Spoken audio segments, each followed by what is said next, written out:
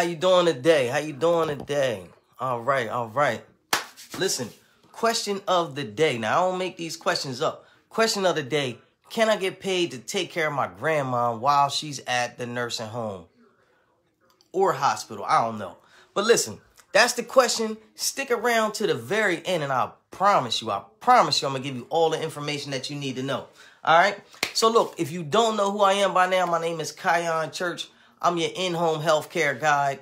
All right. So what do I like to do? I like to help financially challenged family members to become paid caregivers through the Medicaid long-term healthcare program. And I'm doing all of that so everybody can have some sort of income. You know what I mean? We're doing the best we can taking care of these older folks, taking care of our loved ones. And you know, sometimes it could be financially frustrating. So what I want to do is I want to offer you a solution. All right. So look, I don't want y'all to think like I make these questions up, man. You know what I mean? So if you here with me right now, you know, dial in, you know, text me while I'm on the air, whatever you got to do. Get me your questions and I promise you I'll answer them, all right? Excuse me. So, uh, lady asked me a question. Now, this ain't my stuff. You can check my YouTube out. People ask me questions every day because, you know, people are financially frustrated. You know, how can I get to the bag, KC? I'm doing all I can do. How can I get to the bag?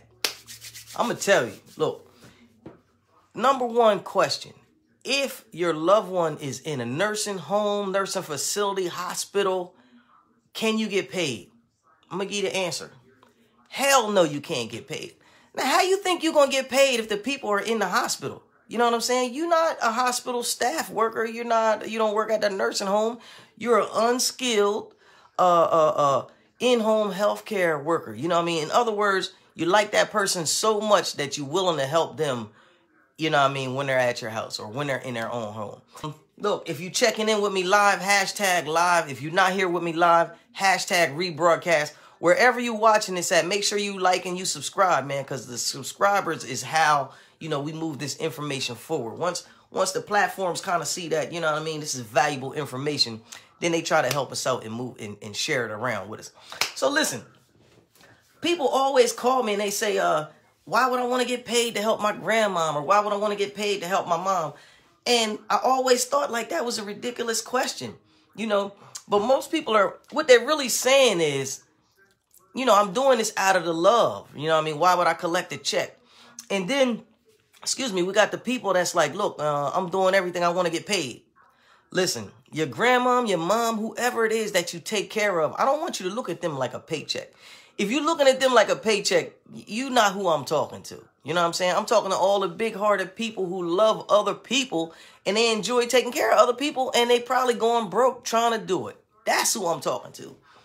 If you out here trying to get a check because that, that older lady needs help and that's your grandmom, you ain't my type of person. You know what I'm saying? Now, you know, in my other lifetime, you know, I don't want to veer off too far, but in my other lifetime, I used to sell another service. And I used to tell people, yo, get out of here, cuz this ain't for you. Get out of here. I might be talking to you. Get out of here. This is not for you. If you trying to get over and put some money in your pocket, this is not for you.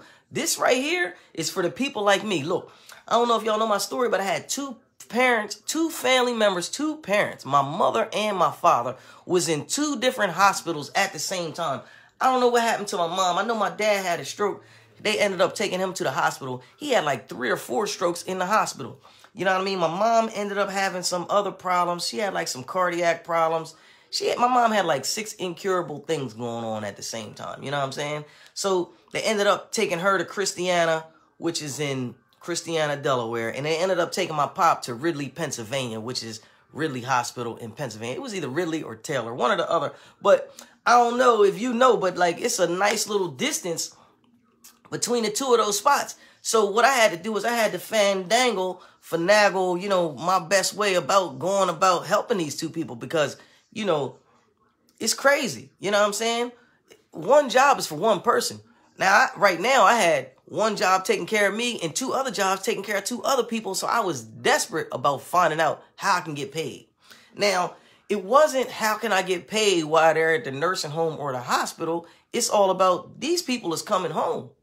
And when they come home, they're going to need some extra help. So if I got to spend all my time, you know, not going to my little nine to five, I don't think I ever had a nine to five. I ain't going to lie to y'all. But I always had something that paid some money. So if I got to kill my time off of making money, I'm gonna need to be able to pick up a paycheck some other some other pay, some other way, some other avenue. I gotta do something. You know what I mean? That's when the the the boop, boop, boop, boop, boop, it started rolling like, yo, gotta do something, cuz because if we don't bring in no money, we all just gonna be here together and the roof gonna eventually fall in. You know what I'm saying? Like, you know, I don't know. Like things happen and you gotta be prepared for when those things are gonna happen. Only way you can be prepared is if your pocket is right. You know what I mean? So if you hear me talking about get paid to take care of your loved ones, get paid, get paid, get paid, I'm not talking in the selfish, sensitive manner that you might be thinking I'm talking about. I'm talking about an honest day's pay for an honest day's work because you wasn't able to go and uh, you know, work at the bank today or you know, put in your put in hours at your 9 to 5 or or whatever it is that you're doing. You know what I'm saying? Listen, don't get over on grandma. Grandma need all the help you can get. You know what I'm saying? Now, what I can tell you is, you know, the best way to, to set yourself up to get paid is to make all the right moves. Now, if you got a if you got a grandmom, if you got a loved one, whoever it is, if they're in a hospital or they're in a nursing home, what you need to be doing is setting it up so when they come home, you can get paid. Now, I'm gonna give you the secret sauce. Ain't nobody gave you this. All right. See, the text messages is coming. They they be listen. Anytime y'all see me put my hand up there, I'm moving them text messages away. Now listen, the best way for you to get paid is for you to tell your grandmother or your loved one's case manager. Every okay, look, water in the hospital, they got some special things going on, and they got people who are dedicated to uh serving the members, the insurance members, water at the facility whether this be hospital, nursing home, you know, I don't care, wherever they're at, they're stationed there, they got some help, all right? They're called case managers and they're called social workers. What I would do personally, being so we, me and you both know it's only one insurance company that pays for this, that's Medicaid. What I would do is I would try to get my mother or my, you know, person that I'm taking care of into Medicaid before they come home because you know that once they're in Medicaid, they got an opportunity to get a, a paid, non-skilled healthcare worker. And if you working with reliable aid, that's going to be you. That's how you going to get paid. All right. So look, while you there, utilize your resources. You know what I mean? You got a case manager. What you got to do is you got to attack that case manager hard. Every day you need to be there. You know what I mean? When my mom was in the hospital the last time, uh, every day that it was like a team of people who met with my mom and every day they figured out the best things that she needed to go forth and and and you know you know work on her health and be able to you know be all right at the end of the day now what they did is they called that the plan See, this is what I told you do. Text the number 302-689-3240. If you got a question and you're scared to get on the live with me, text the number. You know what I mean? I see the question, I go ahead and answer it. So look, what you want to do is you want to be attacking those case managers. You want to tell the case manager, look, my mom's needs have changed. When she get home, she going to need some help. I want to see about this Medicaid program. You know what I mean? Now, it's like three little simple things that it's going to take for her to get into Medicaid. All right. Number one, it's going to be an income verification. Now, unfortunately, if you got a whole lot and you got a bunch of assets, Medicaid ain't going to give you anything. So if that's the case, you know what I mean? It's just nothing we can do. But if you're in the right position and you got yourself set up right, that's for you. All right. So what they're going to do is they're going to come at you. They're going to do this income verification. Now, once you pass that, let's say that you pass that, they're going to, uh, I don't know what it is, man. I had this turkey bacon today, man. Keep making me like hiccup or something. I don't know. It was good though. All right. So look, after that, what they're going to do is, uh, they're going to ask your doctor for a comprehensive medical report. Now, this comprehensive medical report it's just an old fancy schmancy name for uh, basically what's going on. What's the diagnosis?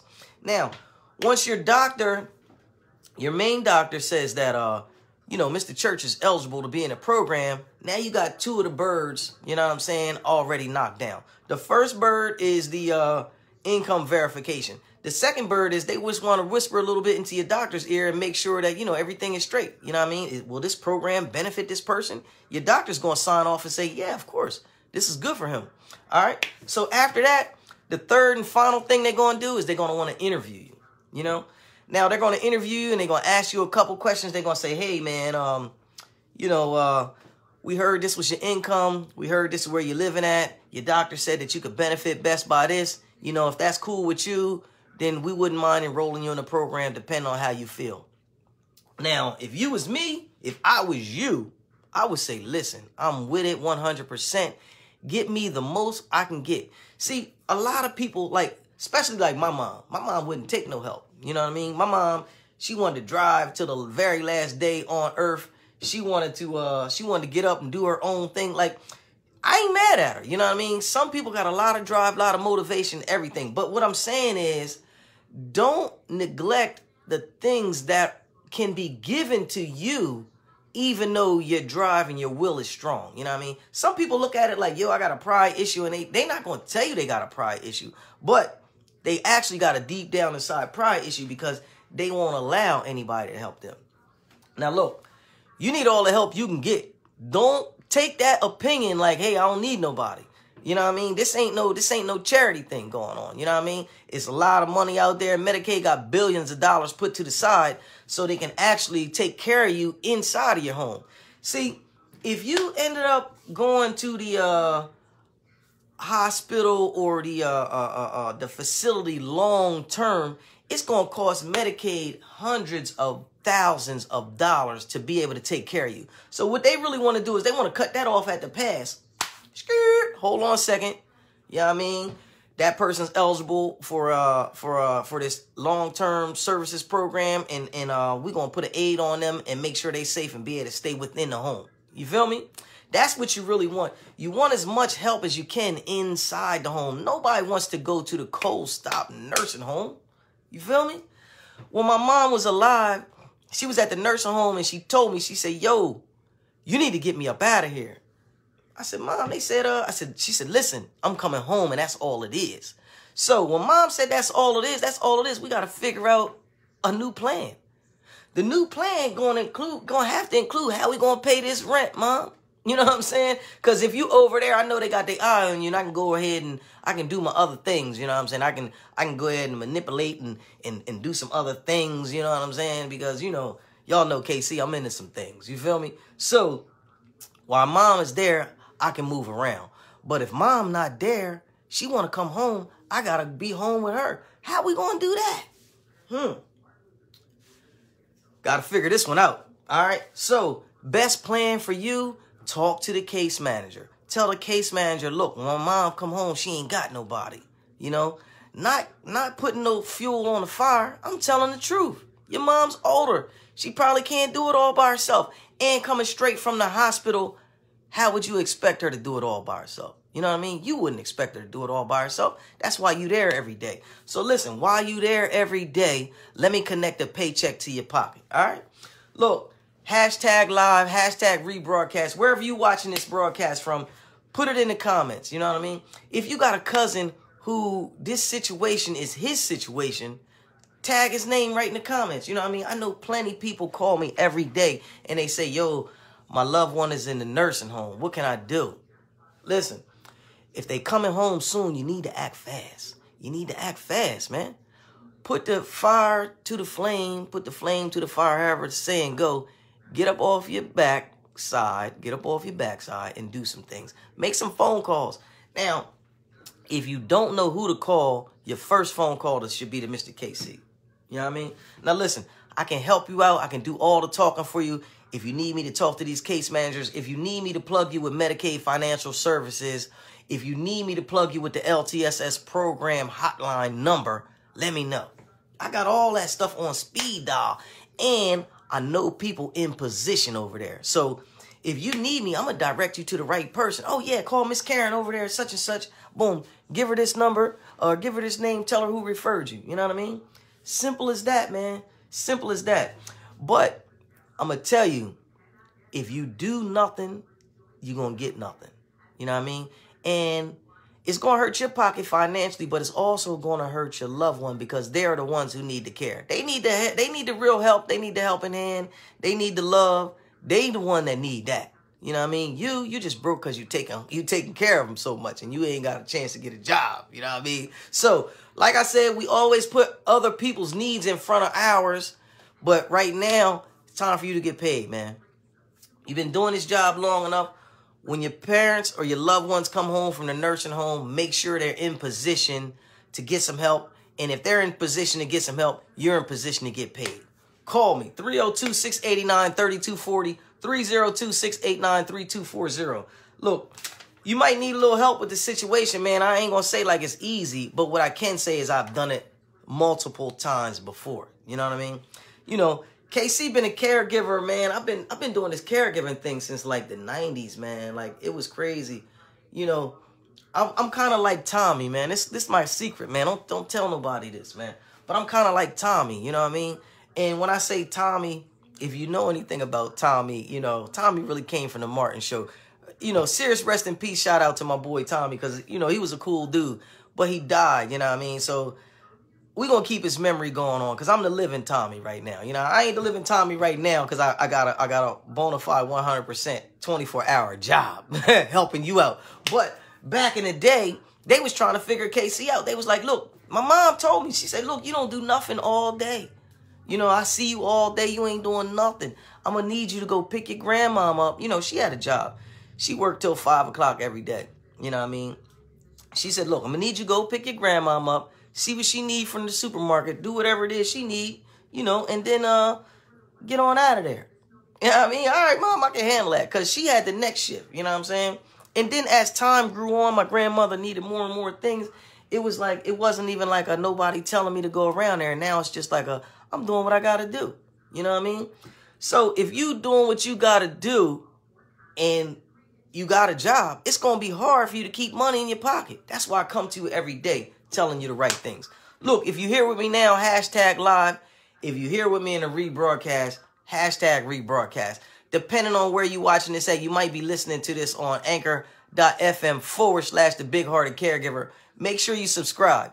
Yo, funny story. I just looked on our uh on a podcast we got like a thousand people that listen to the episodes, but we got like less than three or four subscribers. Now I know for a fact three people didn't listen to 900 episodes, man. You know what I'm saying?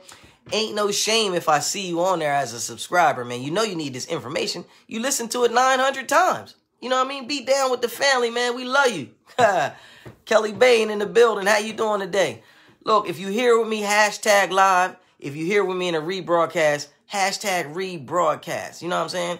So look, man, I did it. I've been there. You know what I'm saying?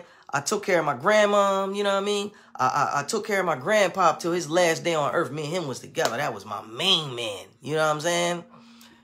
Mom saw I was I was I was fortunate enough to be able to take care of her to her last days. Right now it's me and Pop, and that's all I got. So I'm trying to do the best thing I can do. You know what I mean? Now you, I know you're doing the best thing you can do and your pockets is leaking. Listen, don't let your pockets leak all the way out, man, because that ain't gonna be real fun, man. You're gonna be broke. You know what I mean? If you're gonna be broke, you're gonna be hungry. And if you're gonna be hungry, your loved one gonna be hungry, man. And listen, that's a sad situation, man. You gotta turn it up. You gotta turn it up, man. I'm gonna tell you like this: everybody in Medicaid is eligible for a paid aid as long as you're in a long-term uh program, long-term healthcare program you eligible for a paid aid. Why not get paid? Don't let all your finances, you know, go down the drain because you're so busy taking care of others. You ain't had a chance to bring no money in. You know what I mean? We bringing this money in. You already doing the job to bring the money in. Let's turn, let's turn it on. Let's bring that check in. Call me up, say, KC, I'm gonna need you turn this check on, baby. You know what I mean? My loved ones, Medicaid, long-term health care. I need you turn this check on for me, man. Look, I'm gonna connect the paycheck to your pocket, man. That's all it is. If you're here with me now, hashtag live. If you're here with me in a rebroadcast, hashtag rebroadcast. Y'all be giving me these thumbs up, these hearts, these likes. I can't always see a picture, so you know, comment on it. You know what I mean? Let me know you're here and you're with me. All right.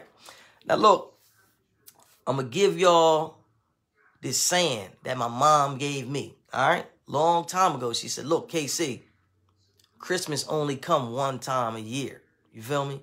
She said, now, if you ain't prepared, your Christmas gonna suck.